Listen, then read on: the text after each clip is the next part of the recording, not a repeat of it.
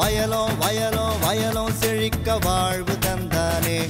வயலோ வாழ்வு தந்தானே.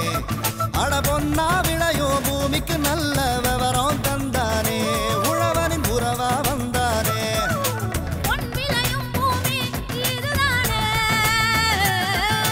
வயலோ வயலோ வயலோ செழிக்க வாழ்வு தந்தானே. வயலோ வாழ்வு தந்தானே. அட பொன்னா விளையோ பூமிக்கு நல்ல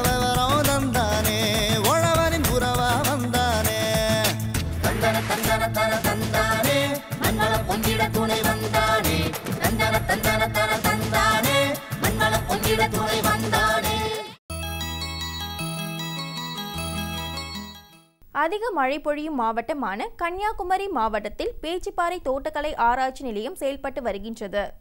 இங்கு ஆராய்ச்சி விரிவாக்கம் போன்ற பணிகள் செவ்வனே நடைபெற்று வருகின்றன. மேலும் பேச்சிப்பாறை தோட்டக்கலை ஆராய்ச்சி நிலையம் என்னென்ன முறைகளில் செயல்பட்டு வருகின்றன என்பதை குறித்து கன்னியாகுமரி மாவட்டம் பேச்சிப்பாறை தோட்டக்கலை ஆராய்ச்சி நிலையத்தின் பேராசிரியர் மற்றும் தலைவர் முனைவரார் கண்ணன் அவர்கள் தரும் விளக்கத்தினை காணலாம்.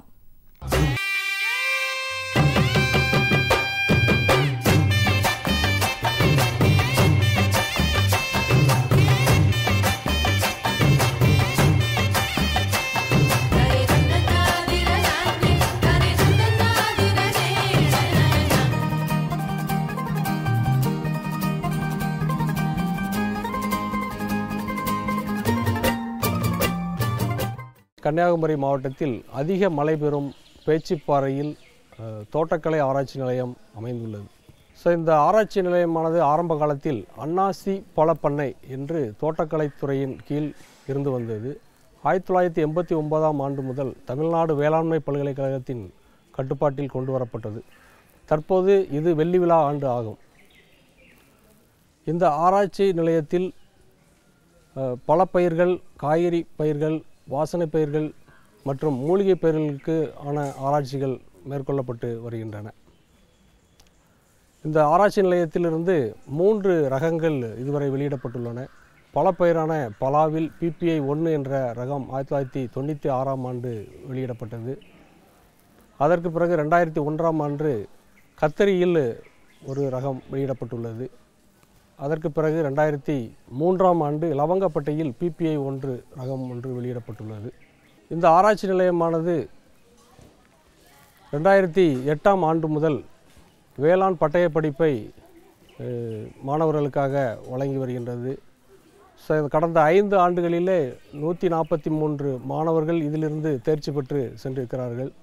அவர்கள் தோட்டக்கலை துறையிலும் பல்வேறு பூச்சி மற்றும் உர கம்பெனிகளிலும் வேலை பார்த்து வருகின்றார்கள். ஸோ ரெண்டாயிரத்தி பதிமூணாம் ஆண்டு முதல் இந்த தோட்டக்கலை பட்டைப்படிப்பு ஆரம்பிக்கப்பட்டுள்ளது. இந்த தோட்டக்கலை பட்டைப்படிப்பில் தற்போது எழுபத்தெட்டு மாணவர்கள் பயின்று வருகிறார்கள். ஸோ மாணவர்களுக்கான அனைத்து உள்கட்டமைப்பு வசதிகளும் செய்து தரப்படுகின்றன வகுப்பறைகள் தரம் உயர்த்தப்பட்டு பவர் பாயிண்ட் ப்ரெசன்டேஷனோடு வகுப்புகள் நடத்தப்படுகின்றன. இந்த ஆராய்ச்சி நிலையமானது ஐம்பது ஏக்கர் பரப்பளவில் செயல்பட்டு கொண்டு இருக்கிறது இங்கு கல்வி ஆராய்ச்சி மற்றும் விரிவாக்க பணிகள் சிறப்புற நடைபெற்று வருகின்றன. குறிப்பாக வாசனை பயிர்களில் அகில இந்திய ஒருங்கிணைந்த ஆராய்ச்சி திட்டத்தின் கீழ் வாசனை பயிர்களான கிராம்பு ஜாதிக்காய் மிளகு லவங்கப்பட்டை போன்றவைகள் உற்பத்தி செய்யப்பட்டு விவசாயிகளுக்கு மானிய விலையில் கொடுக்கப்படுகிறது. மேலும் அவர்களுக்கு ஏற்படும் சந்தேகங்களுக்கான பயிற்சிகளும் இந்த ஆராய்ச்சி நிலையத்திலிருந்து தேவைக்கு ஏற்ப கொடுக்கப்படுகிறது. குறிப்பாக தோட்டக்கலைத்துறையினால் நடத்தப்படும் மாதாந்திர பயிற்சிகளிலே இந்த நிலையத்தைச் சேர்ந்த விஞ்ஞானிகள் கலந்து கொண்டு அவர்களுக்கு தகுந்த ஆலோசனைகளை வழங்கி வருகிறார்கள். ஸோ இந்த ஆராய்ச்சி நிலையத்திலிருந்து மிளகு மூன்று ரூபாய்க்கும் கிராம்பு செடிகள் பதினைந்து ரூபாய்க்கும் அப்புறம் ஜாதிக்காய் ஒட்டு செடிகள் ரூபாய் நூறுக்கும் விற்பனை செய்யப்படுகின்றன. ஸோ இதன் மூலம் நல்ல வருவாய் இந்த ஆராய்ச்சி நிலையத்துக்கு கிடைத்து வருகின்றது. ஸோ இந்த ஆராய்ச்சி நிலையத்திலே தோட்டக்கலைத்துறையைச் சேர்ந்த பேராசிரியர்களும் நோ- நோயியல் துறையைச் சேர்ந்த பேராசிரியர்களும் பணியாற்றி வருகின்றார்கள். குறிப்பாக நான் ஏற்கனவே சொன்னது போல் அகில இந்திய வான வாசனை பயிர்களில் ஒருங்கிணைந்த ஆராய்ச்சி திட்டத்தின் கீழ் பல்வேறு பகுதியிலிருந்து கொண்டு வரப்பட்ட ரகங்கள். குறிப்பாக கிராம்பில் வந்து இருபத்தைந்து ரகங்கள் மற்றும் லவங்கப்பட்டையில் பன்னிரெண்டு ரகங்கள் மற்றும் ஜாதிக்காயில் இருபத்தைந்து ரகங்கள் பல்வேறு இடங்களிலிருந்து கொண்டு வரப்பட்டு இங்கு பயிரிடப்பட்டு அதனுடைய மகசூல் திறன் வந்து இங்கே பரி பரிசோதிக்கப்படுகின்றது. மேலும் நோய் எதிர்ப்பு திறன் மற்றும் பூச்சி எதிர்ப்பு திறன் கொண்ட ரகங்களை கண்டறிந்து அவைகளை விவசாயிகளுக்கு ஒரு ரகமாக வெளியிடும் முயற்சியிலே ஆராய்ச்சிகள் நடைபெற்று வருகின்றன.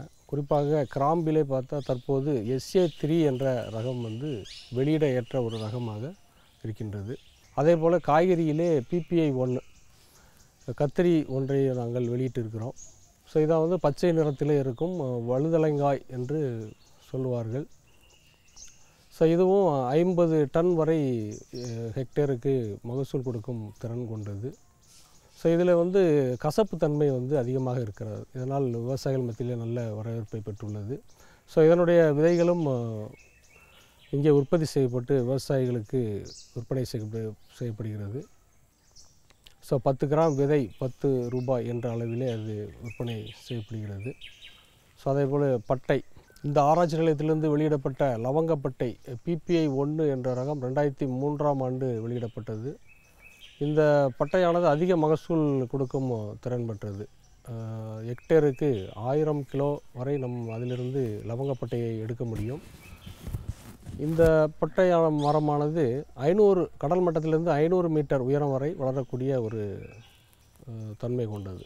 ஸோ அடுத்தபடியாக வாழை மற்றும் மிளகில் ஏற்படும் நோய் தாக்குதலை குறிப்பாக வாழையில் வந்து வாடல் நோய் என்பது ஒரு பெரிய பிரச்சனையாகும். ஸோ இந்த வாடல் நோயானது ஒரு பூசணத்தினால் உண்டாகிறது ஃபிசேரியம் என்று சொல்லக்கூடிய பூசணத்தினால் உண்டாகும். இதை கட்டுப்படுத்துவதற்கு கார்பன்டசியம் கார்பன் என்ற மருந்தை கேப்சியூலில் அடைத்து அதை கிழங்கு பகுதியிலே நம்ம செலுத்த வேண்டும். அவ்வாறு செலுத்தும்போது இந்த நோயை வந்து முழுவதுமாக நாம் கண்டு கட்டுப்படுத்த முடியும். இந்த பரிந்துரையானது விவசாயிகளுக்கு கொடுக்கப்பட்டு அது நல்ல முறையிலே செயல்படுத்தப்பட்டுள்ளது. அதே போல் வாழையில் நேந்திரன் வாழையில் ஏற்படும் தண்டு துளைப்பானை கட்டுப்படுத்துவதற்கு வாழையில் ஊசி மூலம் மருந்து செலுத்தும் ஒரு முறையும் இந்த ஆராய்ச்சி நிலையத்திலிருந்து விவசாயிகளுக்கு கொடுக்கப்பட்டுள்ளது. அதாவது மானோக்ரோட்டபாஸ் என்ற மருந்தை ஒன்றுக்கு நாலு என்ற அளவில் நீரில் கலந்து அந்த வாழைக்கு நம்ம கொடுக்க அதாவது பத்து மில்லி மானோக்ரோட்டபாஸ் மருந்து என்றால் நாற்பது மில்லி நீரில் கலந்து அதை வாழைக்கு ஊசி செலுத்தும் ஒரு இன்ஜெக்டர் மூலமாக அதை நாம் கொடுக்கும்போது இந்த தண்டு துளைப்பானை கட்டுப்படுத்த முடியும். அடுத்தபடியாக மிளகில் ஏற்படும் வாடல் நோய் ஒரு பெரிய பிரச்சனையாக இருந்து வந்தது. ஸோ அதை கட்டுப்படுத்துவதற்கு உயிர் எதிர்கொல்லியான சூடோமோனாஸ் ஃப்ளோரசன்ஸ் என்ற கலவையை எருவுடன் கலந்து இடும்போது நாம் இந்த மிளகில் ஏற்படும் வாடல் நோயை கட்டுப்படுத்த முடியும். அதாவது ஒரு கிலோ சூடோமோனாஸ் கலவையை ஐம்பது கிலோ எருவுடன் கலந்து அதை ஒரு மரத்திற்கு ஒரு கிலோ என்ற விதத்திலே நாம் வைக்கும்போது இந்த மிளகில் ஏற்படும் வாடல் நோயை நன்றாக கட்டுப்படுத்த முடியும். அதேபோல் க க்ளோவ் கிராம்பு என்று சொல்வோம். கிராம்பிலே வரக்கூடிய வந்து இலைப்புள்ளி நோய் காரணமாக இலைகள் அதிகமாக உதிர்ந்து விடுகின்றன. இவைகளை கட்டுப்படுத்த பூஞ்சான கொல்லிகளை அதாவது போர்டோ கலவையை தெளிப்பதன் மூலம் இந்த இலைப்புள்ளி நோயை கட்டுப்படுத்தலாம். ஸோ இவ்வாறாக இந்த ஆராய்ச்சி நிலையத்தில் கல்வி ஆராய்ச்சி மற்றும் விரிவாக்க பணிகள் சிறப்புற நடைபெ நடைபெற்று வருகிறது.